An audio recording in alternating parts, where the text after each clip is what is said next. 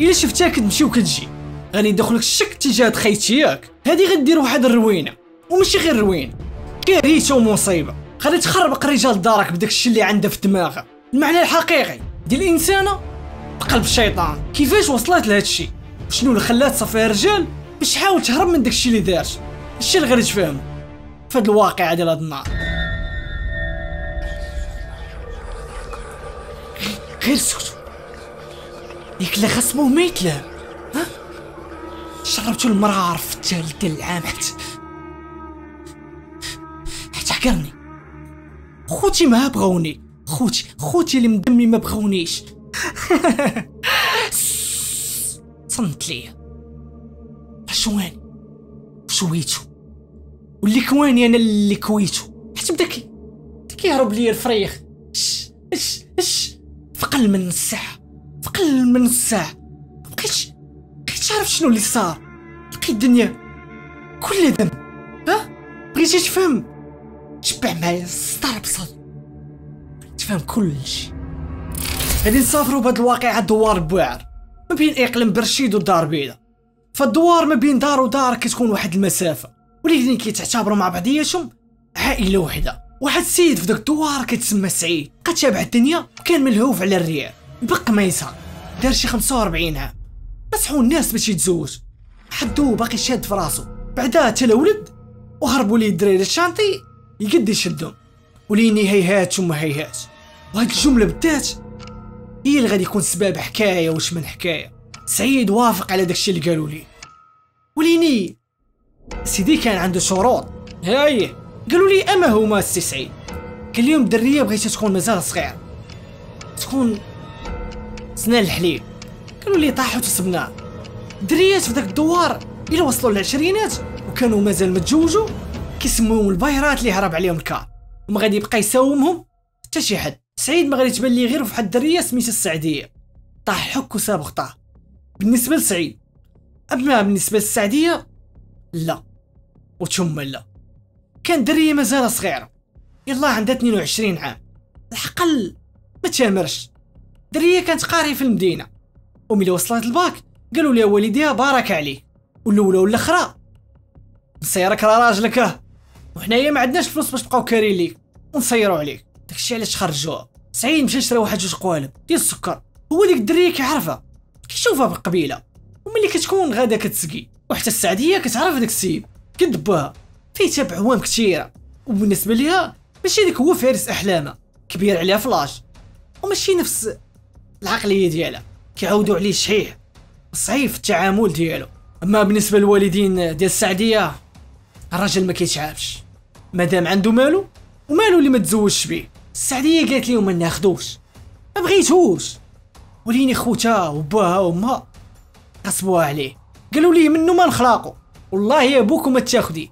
تتاكلي مكان الطبل نهار العيد. ولا والديها ماركين عليها من جهه خوتها من جهه وخوالتها من جهه أخرى. شافت كلشي داير بها وكيبيكي عليها. ويأكدوا عليها باللي إلا ما تزوجاتش بيه غادي تخسر الراجل وغادي تخسر حتى والديها. ما غاديش يبقاو يعقلوا عليها. وغادي ينفروا الرجال في الدوار وتبقى بايرة. هادشي اللي كيقولوا لها شافت حتى عياش. هضرات راسها. وقالت مع الديمان ديال وافقات وقالت لي صافي ماشي مشكل نتزوج بيه. وقفوا داك النهار القيطون وهزوا العلام وعلقوا الراية البيضاء باش اللي دايز من المريره لهيه هيه يقولوا بنت مولد ديك الدار راه عروسة. وفعلا كانت عروسة في ديك الدار ولايني قلبها مجروح. هما كانوا فرحانين. وسعيد بالنسبة لي داك النهار عيدة معلم. وحنات السعدية مولات السعد المعقود دارت يدها في يدو. وتمو غاديين مروحة لدارو. وهي ربي العالم بها لكن ما عندها ما دير. تزوجات السعدية وقالت غادي ندير؟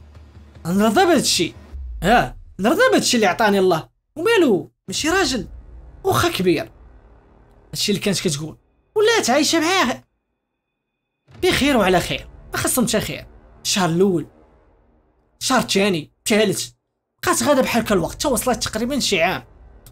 ولاني ما ولدات ما بان عليها آثار ديال الحمل. عجيب. واش المشكل منا؟ ولا من الكبر ديال سعيد. كتقول لي يلا نمشيو عند الطبيب كيقول لها ما خاصني الطبيبيه العاقرة. كراناتك راه عندهم ثلاثة ديال الدراري. وتشي ما بغيتي تولدي ليا حتى دري. ومن هنا العيشة غادا تحرر على السعدية. ما غادي يبقى يسير عليها. ما غادي يبقى يعطيها ما تاكل. ولا ديما سالخه عصا تاكل عصا بالنار ولا دواز وقالت لي خاصني شي حاجة يطحنها تاني مزيان ويخليها ناعسه تبكي واحد النهار صافي. زعفات وعيات وهلكها. هزات حويجة. واش غدير في نظاكم رجعت عند والديها. قالت لهم صافي ما بقيتش قادرة نعيش معاه.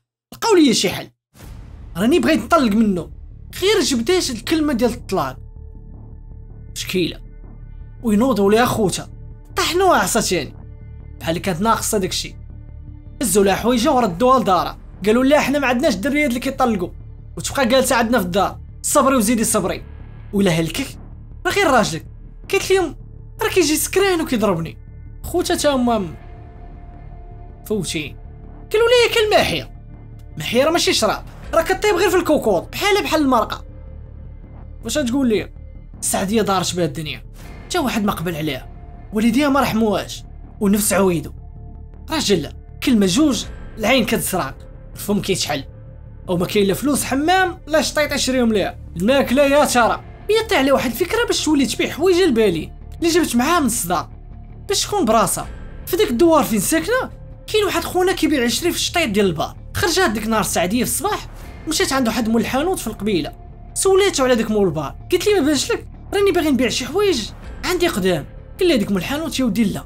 ما بانش ليا. مشيت سولت عيالات كانوا مجمعين نيت في داك الدوار. نفس الهضرة. قلت لهم واش ما بانش ليكم مول البار؟ قالوا لها هما لا. ما بانش لينا. يلا تما غادة راجع للدار يتلاقى بي. تقول لي جابك الله يا المعطي. راني باغي نبيع شي حوايج عندي. يلا يلا معايا الدار شوفوا قال تا هو داك مول البال صافي سيري أنا غادي نلحق عليك. وفعلا. شي مده قصيره التحق مول البال بالدار. غوت عليها. وا السعدية. السعدية. خرجت عنده وقال لها أري لي الحوايج شوفوا قالت لي السعدية oui. تدخل الدار وشوفوا مالك حشمانو؟ حنا بيناتنا. راه ما كاين حتى شي واحد. أدخل. قال لي مول البال يا ودي الله يهديه كون غير خرجتيهم ليا قالت لي السعدية بالحلوف. راهم كتار دخل الصالون. ريح. أنا غادي نخرج للكوشينة نجيبهم لك ونجي. فعلا. مول البال دخل الصالون. وريح. وهي مشات فين قالت لي؟ ويني؟ واحد شوية كتسمع في الدوار الغوت. واك واك الحق عتخوني. واك واك الحق عتخوني. وهاد الغوت جاي من الدار ديال السعدية. مشاو الناس يشوفوا اش كاين واللي كيدخل للدار كيخرج رجليه فاشلين عليه. اش كاين مش كاين قالت لهم السعدية سعيد كيسحب مول البال عنده معايا شي علاقة.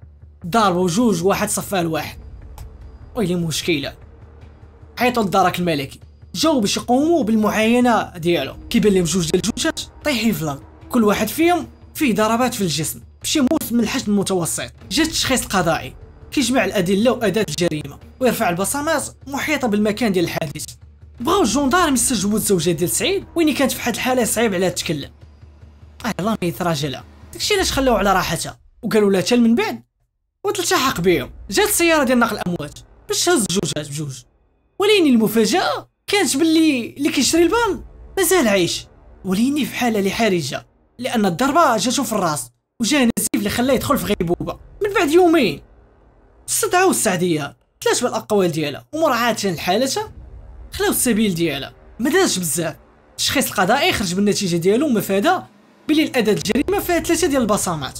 ديال السعدية وسعيد ومولبال تم استدعاء السعدية تاني بخصوص هادشي وليني الجواب ديالها كان منطقي. لأن الموت كان ديال الدار يعني في الكوزينة عادي يكونوا البصمات ديالها أو لا؟ فوليني اللي ماشي عادي كيفاش غادي يفيق مول وغادي يطلب من الطبيب يعيط ليه على الجوندار كانت حالته صعيبة. وليني داكشي كان مهم. قال لهم غير عيطوا لي عليهم. ويصرح لهم قال لهم ملي دخلت الصالون وأنا كنعزل في الحوايج كنتفاجئ بالسعديه مورايا. وهزه موس جاتني من اللور خشاتو فيا قالوا لي على ما ضاربتيش مع راجل في الصالون. قال لهم لا. ما كان حتى واحد تما. مشاو ديك الساعة اعتقلوا السعدية. وهنايا فين غادي تعترف اليوم بكل شيء. وكيفاش؟ طاحت على هذيك الفكرة. باش تفك من سعيد. وتفك من ديك الجريمة. قالت لهم باللي النهار اللي غادي يوقع فيهم داك الشيء في الصباح. رجالات يعني سلخه مزيان. ما شعراش هزات موز. وهي ضربوا فيه. وباش تفك شفت هاد القضية في واحد الفيلم. اش غادي دير؟ صدر جات مول البار وصفاتها لي تا هوايا وجرات راجل اللي كانت مصفيه ليه في بيت نعاس. والموس اش غدير ليه لصقاتو في يد سعيد وفي يد مول البار باش يكون سبعة تبادل الضرب والجرح وتفك منهم بجوج من القضية اللي غتلصق فيها. ومن الراجله وتبقى هانية. ما بغاوش يطلقوها والله ما تسمى مرت المرحوم. وين جاب الله الروح عزيزة عند الله؟ وفاق الشاد فرش كلشي أما كانت غادي تفلت منا هي كانت مكرفسه ومعدي عليها. ولأني هادشي ما عمرو كان دافع.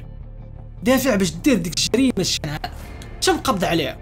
شدات في الحبس وضربوه بالمؤبد. واللي دار ذنب طبيعة الحال يستاهل العقوبة. وهنايا الخوت كتسالي الحلقة ديال هاد النهار نتمنى تكون عجباتكم.